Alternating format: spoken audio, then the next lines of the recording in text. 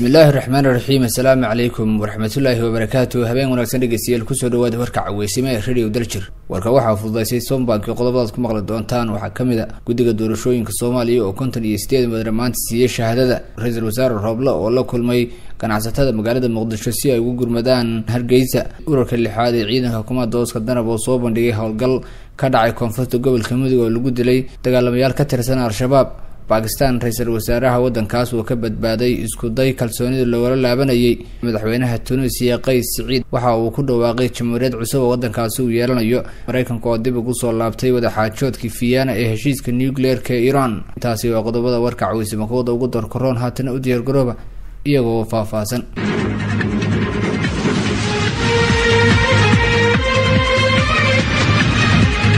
magaalada muqdisho ee caasimada soomaaliya maanta waxaa shahaadada xildhibaanimo la siiyey konton iyo sideed mudan oo ka tirsan baarlamaanka cusub ee soomaaliya. Xildhibaanada sidoo kale maanta shahaadada qaatay waxaa ka mid ahaa sheekh aadan madoobe oo laga soo doorto koonfur galbeed horeyna baarlamaanka soomaaliya ugu soo jiray tan iyo carta waxaana uu noqonaya xildhibaankii koowaad ee koonfur galbeed ka soo jeeda ee shahaadada la siiyo sheekh aadan madoobe ayaa shan boqol oo xildhibaan marow ahaan jiray guddoomiye hadal uu siiyey warbaahinta ayuu ku sheegay inuu xaqu leeyahay shahaadada uguna baaqay kuwa kale ee baydhabo ku sugan ee tabashada qaba inay qaataan shahaadada isagoo sheegay tabashada koonfur galbeed in waddo kale loo maro.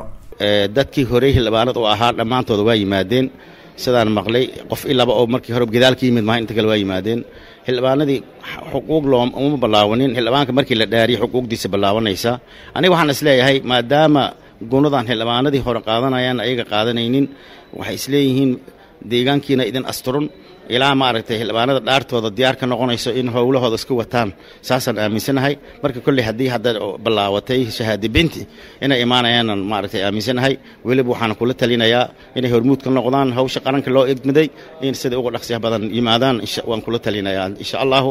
Arrintaas waxaanu arkayaa weliba maaragtay in muddadan oo duruufo badan baarlamaankii ugu dambeeyey dhaliilo badan ku soo baxeen. An arrintaasna waa arag u ahay. Waqti inta ka dhibaato badan oo baarlamaanka iyo dowladnimada loo yaabay in ilaahay igu guuleeyey harimo khatar ah inaan maaragtay aan sabab noqdo in laga soo badbaado inkastoo qof keligiis wax tari karin oo xildhibaanadii ila socday iyo siyaasiintii iyo wasiiradii iyo wakhtigaas joogay. Guushaas aday waada leeyihiin. Haddana waxaan aaminsanahay maadaama baarlamaanka sanadkan hogoo sumcaddiis hoos u dhacday la leeyahay waxaan rajaynaa in igu guulayo baarlamaanka noqdo baarlamaan sharaf badan. Ra'iisul wasaaraha xukuumadda federaalk soomaaliya ayaa kulan la yeeshay ganacsatada soomaaliyeed kaasoo looga hadlayay sidii loogu gurman lahaa ganacsatadii dabkii weynaa ee baabi'iyey hantidooda magaalada hargeysa suuqa waaheen. Kulanka ayaa looga dhawaaqay lacag gaaraysa saddex milyan oo dollar taas oo hal milyan oo ka mid ah ay bixinayso xukuumadda soomaaliya halka laba milyan oo dollarna ay bixinayaan ganacsatada soomaaliyeed duqa magaalada hargeysa cabdikariim mooge ayaa warbaahinta u sheegay in khasaaraha ka dhashay dabkii afartan iyo sideed saac baxayay suuqa weyn ee hargeysa ee waaheen.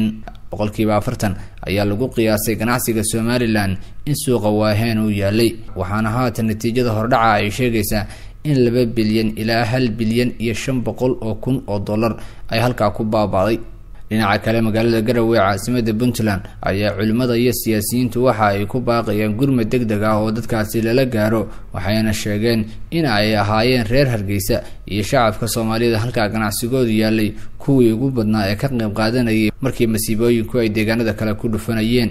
Dallada daneeyaasha aan dowliga hayni bunsa ayaa kulan ku qabatay garowe arrinkaa ku saabsan. Faysal axmed warsame wasiir hore juxa iyo sheekh maxamed xaaji yuusuf ayaa ku baaqay in laysu gurmado maanta in wixii la tari kar la taro. Annaga waxaa noo dheer walaaltinimo waa islaantinimo darisnimada iyo ganacsiga iyo xiriirka dhexeeya iyo dadkasoo isugu xirnaa iyo socodkii iyo wax weyn bay ahayd. Halkan dukaanka fura xaggu ka furan yahay qof kastoo halkan ganacsi kule xaggan waa ku leeyahay inay dadka ahayn dad noocaas wada nool. Marka waa ka tacsiinaynaa ilaahayna waxaan ka baryaynaa cawd kharab inugu bedelo ummadaas soomaalina guud ahaan waxaan ugu baaqaynaa inay qayb ka qaataan dadka dib u soo kaban lahaayeen oo noloshoodii ganacsigooda ugu noqon lahayn dad shaqaystay ahaayeen dad sharafley ahaayeen inay ku noqdaan noloshoodii. Ilahna waxaan uga baryaynaa de khayr iyo in wanaag hawsha ku dhammaato.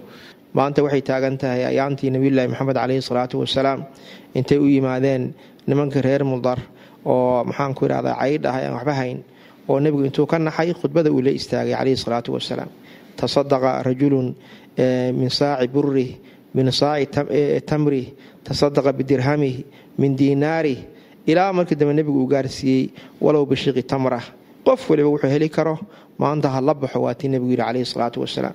Maalintii bay taagan tahay waxaa dhici kardha qof haddee dhaqaale haysta dad badan baa ku xiraanaya qofka marka wuxuu kordhaanbaba ee dadka uu gacanta ku hayaa way badanayaan. Boqol qof qofay ku xiraydoo maanta aan waxba u awoodi karinoo gacan maran ayaa dhici kardha marka dadka walaalaha ah ha loo gurmado. In laysu gurmadana haddee ilaahayna qur'aanku inuu ku faray subxaanahu watacaala aayaad fara badan oo waxaa ka mid a aayaddii wasaaricu ilaa makfirati min rabbikum wa jannatin cabduha asamaawaatu waalardu uciddat lilmuttaqiin. Dadka jannada ilaahay u diyaariyey oo muttaqiinta waxaa ugu horreeya aladiina yunfiquuna fi saraa'i wadaraa waa kuwa xoolahooda bixinaya. Marka barwaaqadu ay jidho iyo marka dhibku uu jiraba. Marka dadkaa dhibtu ku dhacday in loo gurmadaa waa diin waa waxa towxiidka lagu wadaago wey. Diinta islaamkaba waad ogtihiinoo waxa ilaahay u soo dejiyey oo ugu horreeya bini aadamku inay isku anfacaan. Reer somalilan waa ka soo kabanayaan arrintan.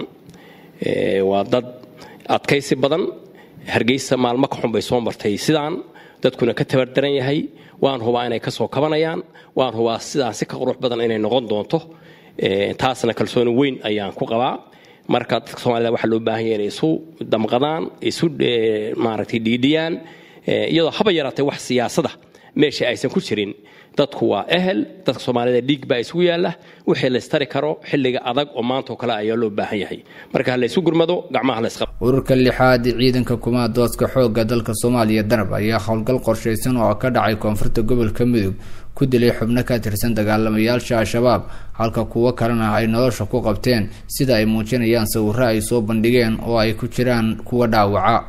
Howlgalka ayaa ka dhacay tuulada lulubsho oo degmada wasiil ee gobolka midug u jirtay lix iyo toban kilomitir. Taliska ciidanka xoogga dalka ayaana warbaahinta ayaana warbaahinta u xaqiijiyey in howlgalkaasi lagu fashiliyey ugu yaraan shan miino oo ah nooca dhulka lagu aaso iyo afar qori oo a k forty seven ah oo ay wateen dablaydii ay ciidamadu ka hortageen. Warkii dunidana dhegeystayaal waa naga intaas